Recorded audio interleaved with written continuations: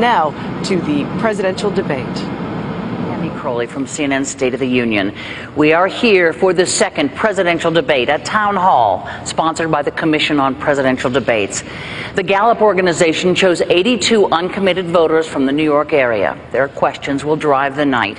My goal is to give the conversation direction and to ensure questions get answered.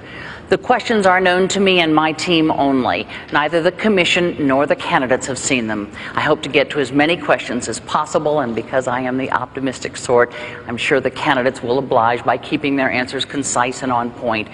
Each candidate has as much as two minutes to respond to a common question, and there will be a two minute follow up. The audience here in the hall has agreed to be polite and attentive, no cheering or booing or outbursts of any sort we will set aside that agreement just this once to welcome President Barack Obama and Governor Mitt Romney.